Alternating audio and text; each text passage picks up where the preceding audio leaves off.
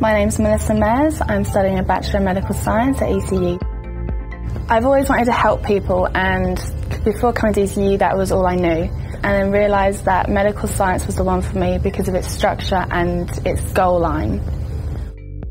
When coming into the course I knew that we'd be doing a lot of hands-on experience but I figured that it would be sort of stage one, literally hold your hand through it experiments. But the things that I did in this course are amazing. We had a lecturer come in and she was from PathWest in the haematology department and I actually got talking to her and was able to go and visit them. And while there, I got a full stream tour of the labs and what goes on and, every skill I've learned I could apply to what's being used there. And I'm still only first year, so that's really comforting to see that what I'm doing in my first year stage at this course is what's actually going to be happening in the workplace.